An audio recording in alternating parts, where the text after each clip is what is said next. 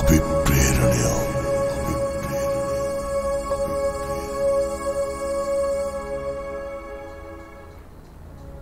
සුබ දවසක් ආයුබෝ වේවා. අදත් අපි ටීවී දෙනත ඔබත් සමග යම් කිසි කරුණක් සාකච්ඡා කරන්නටයි මේ සූදානම් වන්නේ අභිප්‍රේරණය. අපිට සුබ දවසක් උදා වෙනවා හෙට දවස. යමක් හිතන්නට පුළුවන් දවසක්. මාසේ පළවෙනි සතියේ ආරම්භ කරන මාසේ පළවෙනි දිනේ පොය දවස. බොහෝ දෙනෙක් අද විහාරස්ථානයේ පන්සල අමතක කරලා පොහොය දිනේ නිවසට වී ගත කරන කාලයක් බවට පත්වේගෙන යන යුගයක්.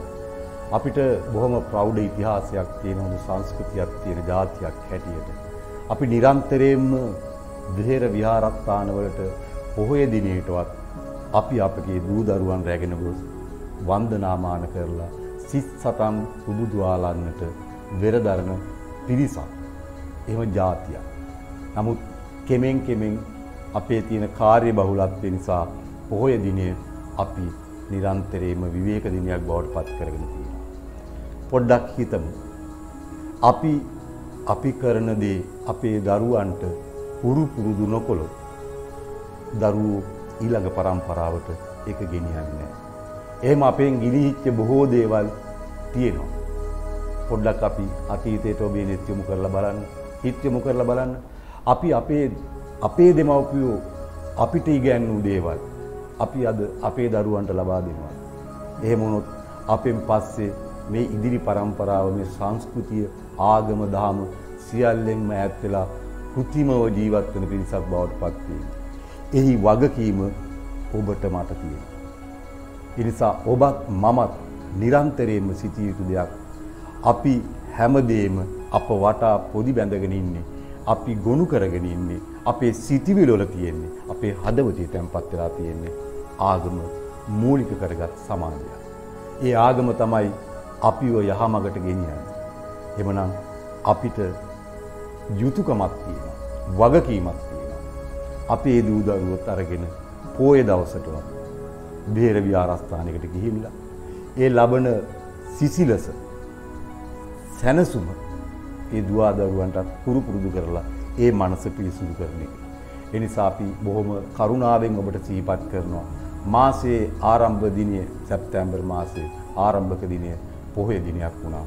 නිවාඩු දිනයක් නිවාඩුව ගත කරන ගමම්ම සවස් යාමයේ හෝ විහාරස්ථානයකට ගිහිල්ලා බුදුන් වැඳලා දෙවියන්ට පින් අනුමෝදන් කරලා මේ මාසයේ ඔබේ ජීවිතයේ සියලු ප්‍රාර්ථනාවන් ඔබේ දුවදරුවන්ගේ සියලු ප්‍රාර්ථනාවන් ඉෂ්ට සිද්ධ වේවා කියන මානසිකත්වයෙන් ප්‍රාර්ථනාවෙන් නිවසට ඇවිල්ලා ඉන්න පුරුදු කරගන්න.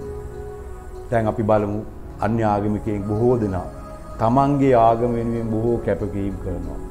ඉරිදා දවස සිකුරාදා දවස ඒගොල්ලෝ සියලු වැඩ කටයුතු නිමා කරලා නිමා නොකර ඒ තම තමන්ගේ දේවස්ථානවලට ගිහිල්ලා තමන්ගේ ආගමික කටයුතු දෙනවා.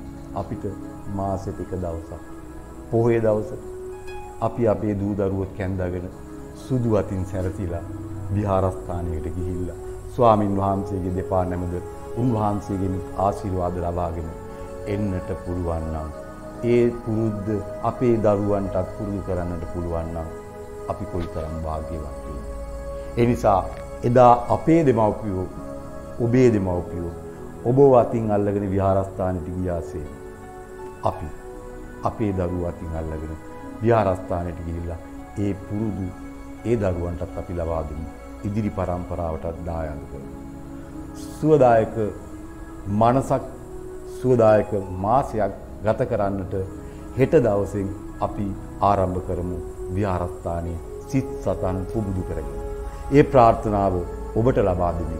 ඔබේ හදවතේ අද දවස තුලේ ප්‍රාර්ථනා ඇති කරගන්න හෙට දවසේ අපි ක්‍රියාත්මක වෙමු. එහෙනම් ඔබට තෙරුවන් සරණ ප්‍රාර්ථනා කරමින් හෙට දවස මේ විදිහට කටයුතු කරන කියන ඉල්ලීම ටීවී දෙනත අභිප්‍රේරණය තුලින් අපි ඔබට මතක් කරනවා. නම් ජය වේවා. අභිප්‍රේරණය